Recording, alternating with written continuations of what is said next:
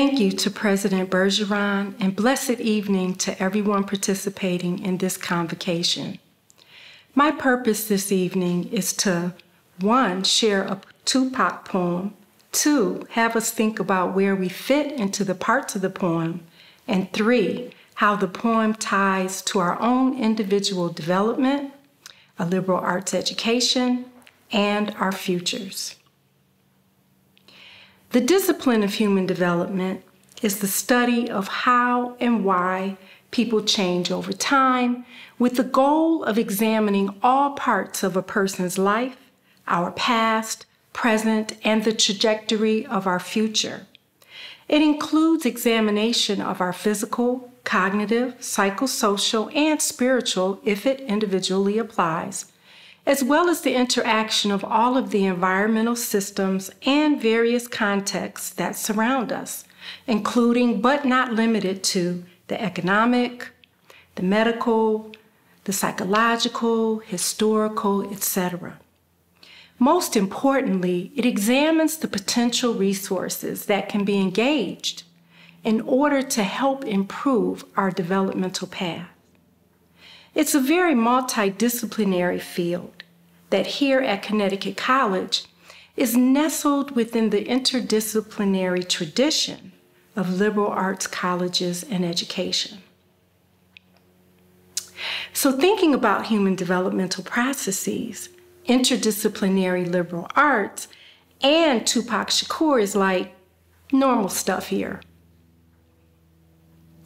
One thing that I have come to appreciate is a concept that I learned from a 1994 book by M. Shujaa called Too Much Schooling, Too Little Education A Paradox of Black Life in White Societies.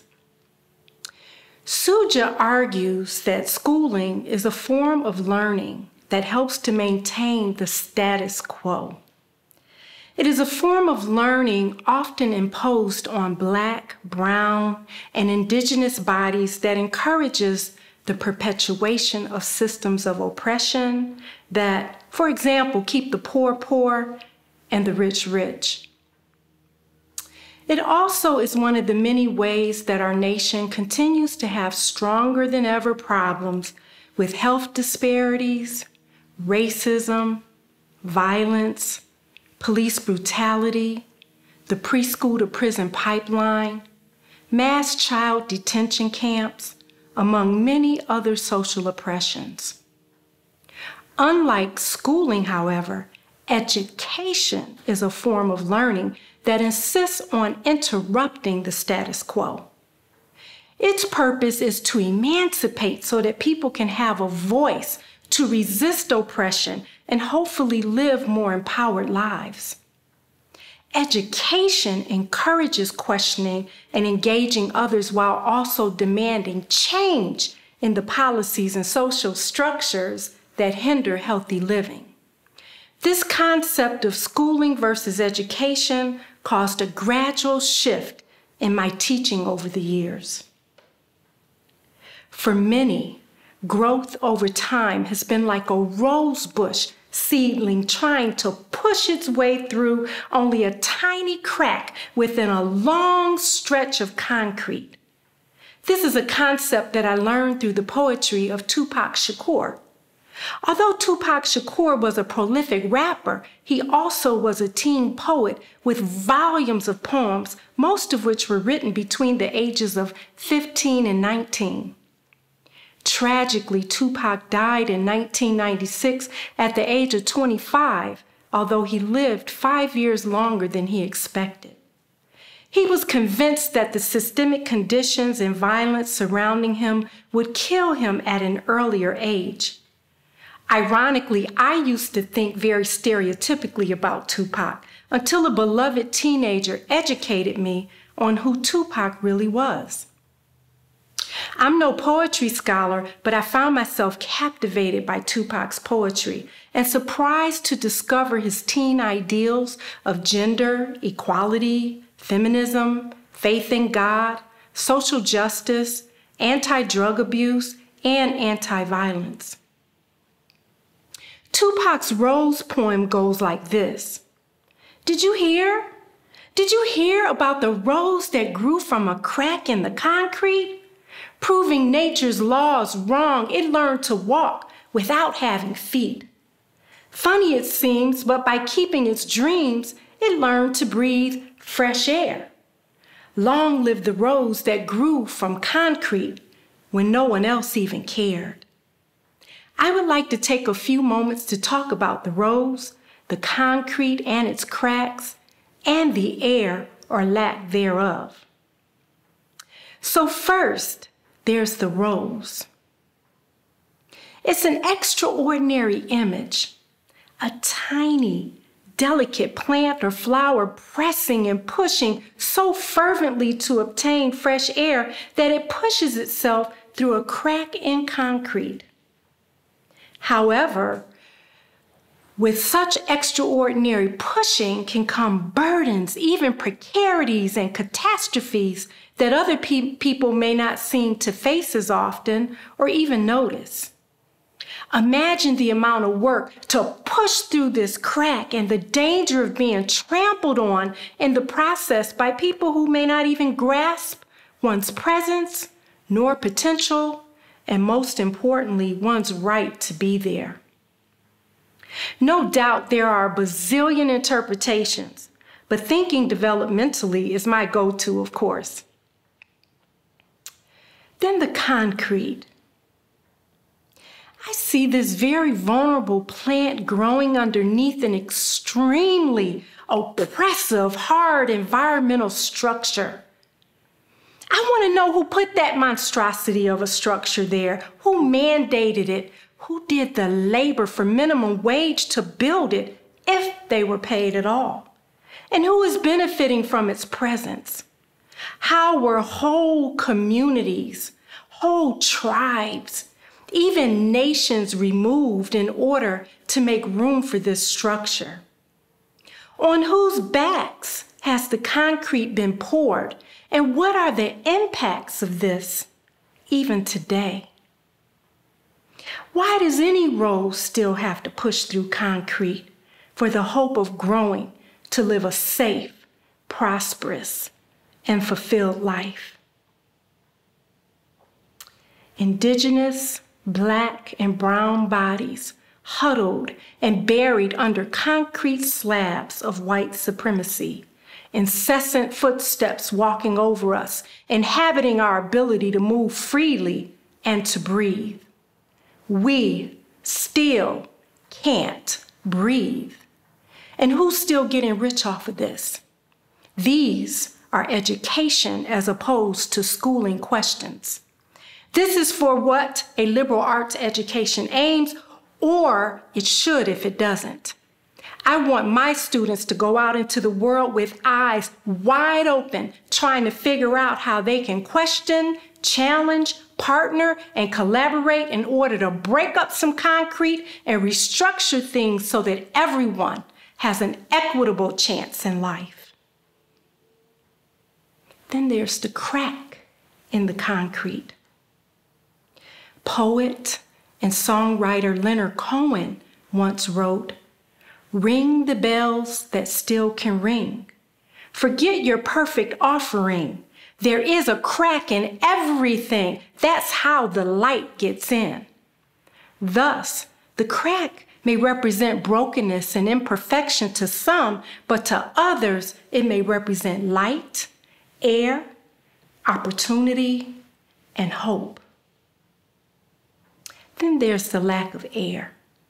We can consider that airlessness keeps people from breathing right, if at all when living under poured concrete or heavy systemic structures. A lack of air may represent additional forms of inequitable, oppressive, exploitive, and violent practices, all of which can kill us. And then the dirt. In order for the rose to grow, there has to be some dirt somewhere. Dirt represents earth, nutrients, sustainability, strength, land, blackness, black pride. Thus, figuratively, under the concrete are the people, the communities who have been oppressed by all of the social structures that disproportionately have hindered Black, Brown, and Indigenous bodies. That invisible dirt where that rose is growing represents some of the strongest transplanted nations, tribes, and involuntary immigrants to ever exist on this earth. We are those whose labor and strength built this country, and we yet still hold the nation up. And, and we've tended to be a forgiving and loving people. Somehow we haven't burnt much down nor shot up hardly anything if you consider all done to us. If black folks retaliated for all done against us during these 500 or so years, this whole country and everything in it would have burned down hundreds of years ago. In this decade of Trayvon, Tamir, Sandra, George, Tony, Breonna, and incalculable numbers of slaughtering, Anyone who can't say that they would trade places with a young black teen or adult right now is in no position to judge black people or our allies as we try to cope and demand change. But getting back to the dirt, the dirt has concrete weighing on it, preventing it to breathe. Because of the nutrients, though, in the dirt, the constant inspirational pushing and sacrificings of the elders, the ancestors, the children, and the angels and God, even a rose seedling can manage to thrive where there is no air. This dirt is so rich and full of nutrients that America, as we know it, was built on it and has sustained itself on it. The nutrients in that dirt are what allow black, brown, and indigenous people to make a way out of no way, and that same dirt also absorbs our tears.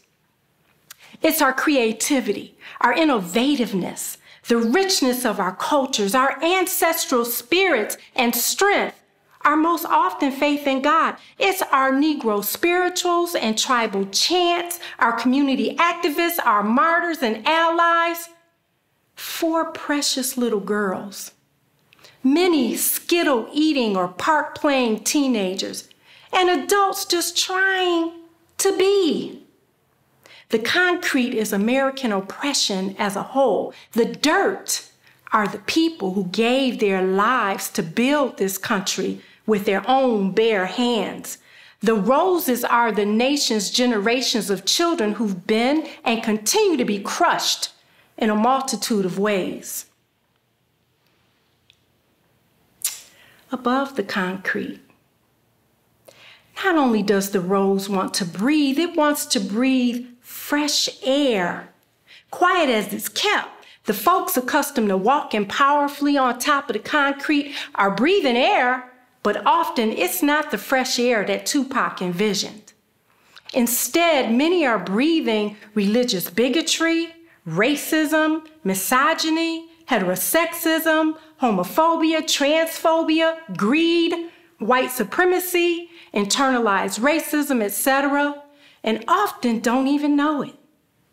However, many also are getting educated, but others rather stay steeped in any toxicity that gives them the historical advantages to which they generationally have been accustomed. But eventually, toxicity will choke the life out of everyone. In an interview, Tupac further elaborated on the rose. He said, You try to plant something in the concrete. If it grow and the rose petal got all kinds of scratches and marks, you're not gonna say, dang, look at all the scratches and marks on the rose that grew from concrete. No, you're to be like, dang, a rose grew from the concrete? Dang, he grew out of that? He came out of that? That's what you should say.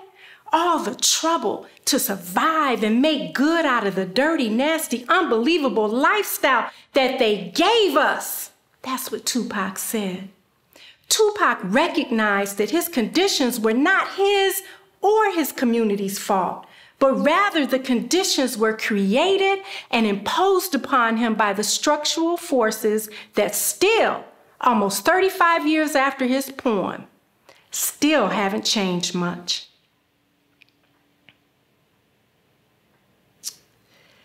Now, you might be asking yourself, where am I in this scenario? Am I a rosebush seedling?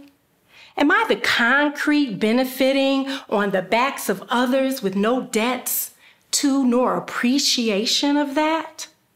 Am I the richness of the resources that inspire and push the rose up as it struggles to find its way through tiny cracks? Am I fresh air? That is someone who has the benefit of being on the other side, but also hopefully serving or partnering as a restorative ally who fights to change oppressive structures?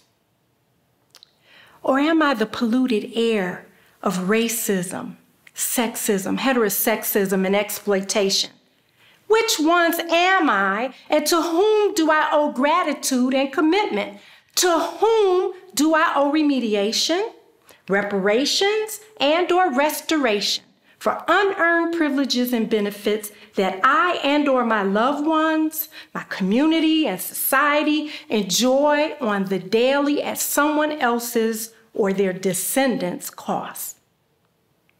These are human developmental questions, as well as economics, education, biology, history, sociology, chemistry, psychology, and so many other disciplines questions. These are liberal arts education questions. These are educational as opposed to schooling questions. This is learning at Connecticut College, and if it isn't, it needs to be because people unnecessarily are dying even as I am speaking. So, in closing, in another interview, Tupac leaves us with this. He says, You see, you wouldn't ask why the rose that grew from the concrete had damaged petals. On the contrary, we would all celebrate its tenacity. We would all love its will to reach the sun. Well, we are the roses. This is the concrete, and these are my damaged petals. Don't ask me why. Thank God and ask me how, said Tupac. And herein lies developmental processes, some of the ideals of liberal arts education, Tupac, Trayvon, Breonna, and be it good or bad, each and every one of us. Thank you.